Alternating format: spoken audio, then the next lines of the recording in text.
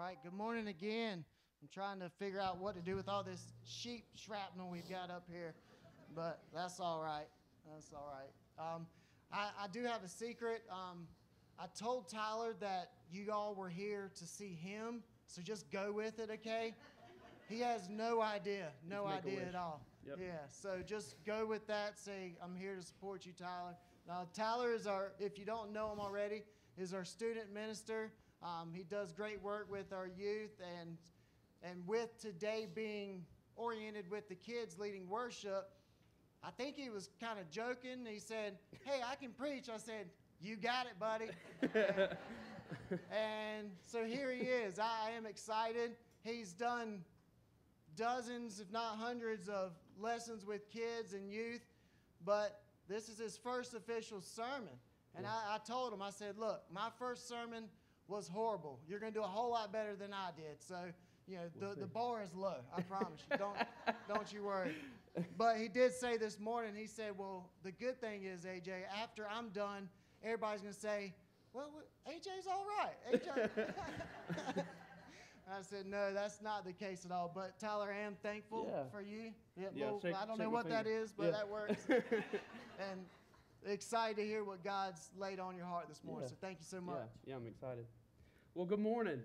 Good morning. I always like to, just like my youth, I like to start everything off with prayer. If y'all bow your heads. God, we thank you so much for this time that, that we get to come together. We get to worship God. We, we get to go through your word. God, I pray that um, this Christmas story, as simplistic as it is, God, that we can really see the, the love and the obedience that comes through this story. God, I pray that you would speak through me and that you would um, allow others to um, take the word in. We love you and we thank you. And it's in your most wonderful and precious name we pray. Amen. Amen. So, like I said, or like AJ said, uh, I'm the I'm the youth pastor here at Access Point. Um, used to speaking to a little bit shorter audience, so uh, and I'm I'm I'm really excited. So, as we listen to the Christmas story each year, we can do one of two things. We can listen to it, and we can take nothing from it, and we can go on about our year with our New Year's resolutions, and, and nothing changes, and it's just another year. Or we can take it, take the simplicity of the story, find something new in it, and run with it into the year. So I'm, I'm hoping that's what we can do this morning. Um, I know I've definitely, um, just in studying it in a deeper way, uh, I've, I've found some things that I can take from this. So as we get closer and closer to Christmas Day, I'd like us to really think about the Christmas story from a different viewpoint. Today, I'm going to be talking from uh, Matthew chapter one. So, if, if you have your Bibles and you want to and you want to follow along with me, um, the Bible doesn't tell us much about who we're going to be talking about today. Today, we're going to be talking about Joseph.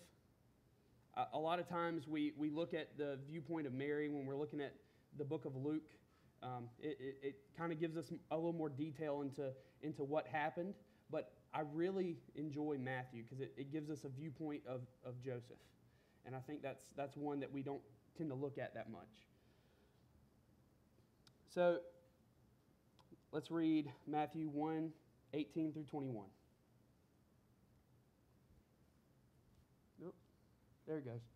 All right. So the birth of Jesus Christ came about this way. After his mother Mary had been engaged to Joseph, it was discovered before they came together that she was pregnant from the Holy Spirit. So her husband Joseph, being a righteous man and not wanting to disgrace her publicly, decided to divorce her secretly. But after he had considered these things, an angel of the Lord appeared to him in a dream, saying, Joseph, son of David, don't be afraid to take Mary as your wife, because what has been conceived in her is from the Holy Spirit. She will give birth to a son, and you are to name him Jesus, because he will save his people from their sins. Joseph is a huge part of this amazing Christmas story, and I think we overlook that a lot. As we go forward, I hope you will see that Joseph has to align his life with God's plan. Matthew doesn't give the kind of deep detail that Luke does, like I said before, but he does give a better glimpse at Joseph's decisions and his heart. We learn, we learn at the beginning of Matthew that Joseph and Mary are betrothed. That might be a little bit of, of a foreign concept to us because now we, we go on dates to dating, to being engaged, and to being married. For them, betrothal was a process that was used to test the fidelity of a person, to test their commitment to that relationship. It was, a, it was very similar to what we call engagement today. It was as legally binding as marriage is. We learn in verse 18 of the first chapter that Mary is found or discovered to be pregnant. This would have been highly suspicious to Joseph because during the betrothal process, the couple would have had little to no contact in that time. The fact that Mary was pregnant would draw a lot of red flags. This would have shamed Mary to no end. And inevitably, everyone had to be thinking that Mary had cheated on Joseph with another man. I think it's probably safe to say that Joseph was feeling betrayed and was hurting. In verse 19, we get a glimpse of the truly remarkable character of who Joseph really is. Joseph is said to have been a just man. According to the law, adultery was punishable by death. And we see this in Deuteronomy 22, 23 through 24. Since Joseph does not have any details about Mary's pregnancy, he likely assumes that she has been unfaithful. But Joseph decided not to make a spectacle of Mary. And I think this is, this is where we get into the most interesting part. Joseph decides not to shame her. Contrary to Jewish law, which says we need to kill her because she has, she has committed adultery and she has been with another man. I think this shows Joseph's obedience to God, and we'll see, and we'll see his obedience to God here com- coming soon. He decided not to make a spectacle of her and, and publicly shame her, so he made the decision to divorce her in quiet. In this, we see Joseph's character, despite what appears to be infidelity on Mary's part. He doesn't want to shame her. As Joseph considers all these options, his decision to act is divinely intercepted and changed. How many of us in this situation would jump the gun and shame the other person? I can, I can say for a fact that most people would, would react in anger, would react off the cuff, not think about anything. And when we react based off of emotions, we block out what God has to say to us. We block out everything that God can, can talk to us in that moment to calm us down, to make us think rationally, to help us see and help us understand what, how we need to react in that moment based off the word that we know.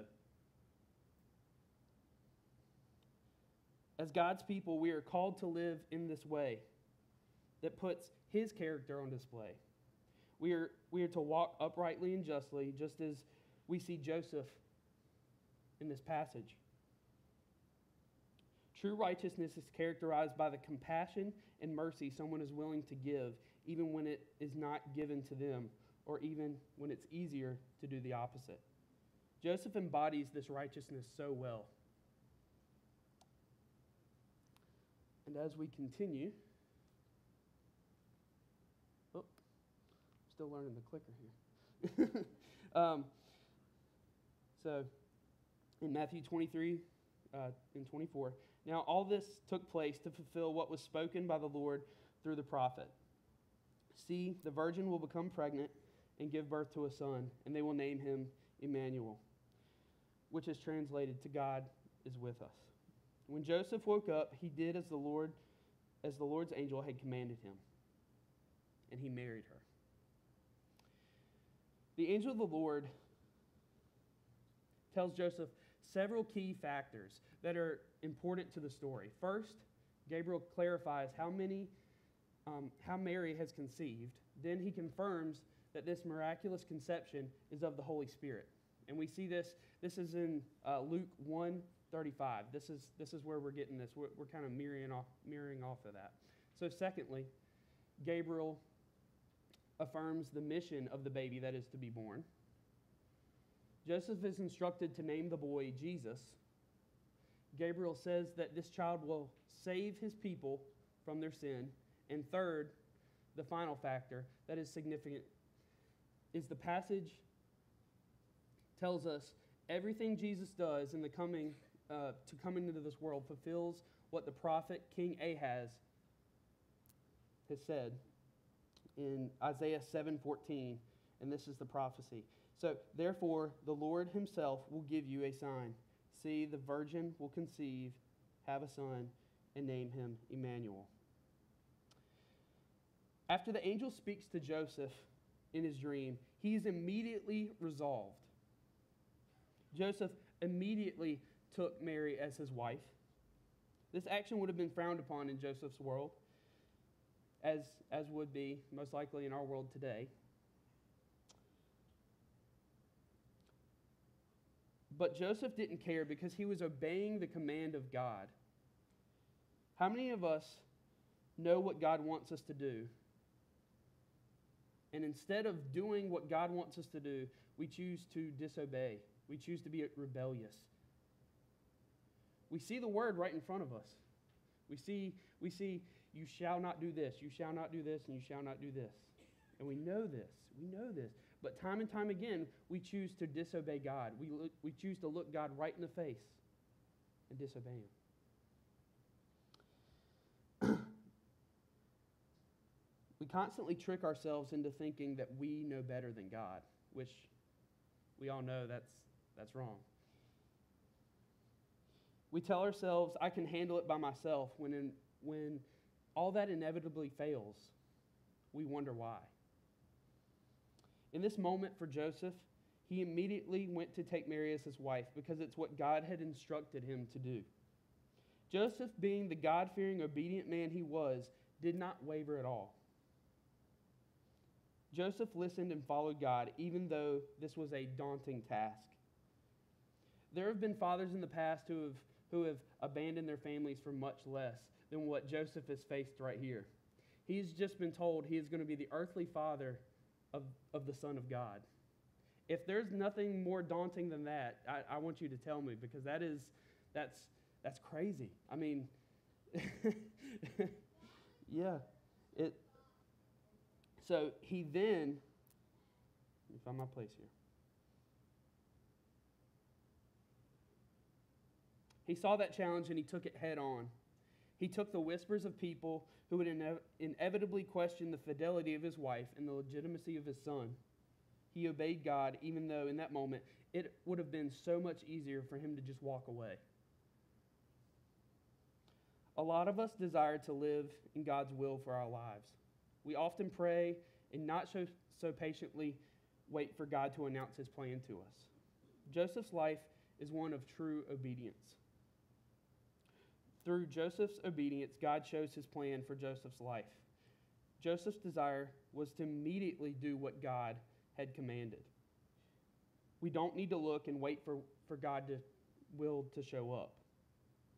Every day we are to walk in obedience to the Lord as we do. And as we do this, he reveals his plan to us. God's plan could come in some pretty radical ways, some ways that we're not ready for. So when we make that call, when we when we tell God, God, I'm ready.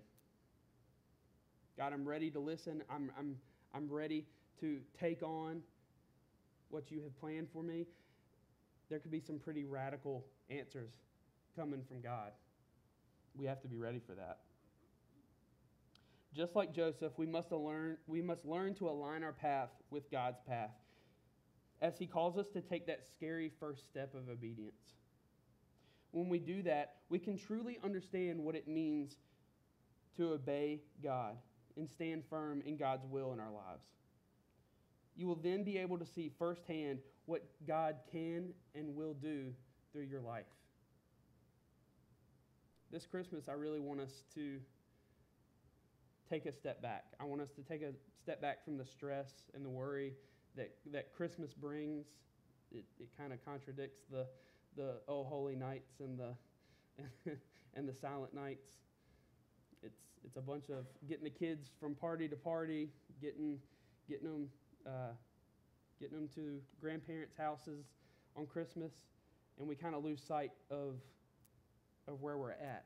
We kind of lose sight of why we're doing this. Because like it's always said, it's not about the presents. It's not it's it's not even just about family. It's about that baby who came humbled himself down into that form to save us all from our sins. From a wooden manger to a, from a wooden manger to a wooden cross. Let's pray. God, I thank you so much for this opportunity. God, I thank you for your word, that it leads us, it guides us through every day. God, that we don't have to do this alone. God, I pray for obedience. God, I pray that, that we choose not to rebel, we choose to, to follow your path for our lives, God. God, I pray that as, as Christmas approaches, we take this, we take this time, and we give it to you, God. We take this time with our families, and we love on our families. God, I pray that you would give us the answers, we would listen. We love you and we thank you. It's in your most wonderful and precious name we pray. Amen. And if you need prayer, uh, AJ is going to be at this door, and one of our elders are going to be at that door.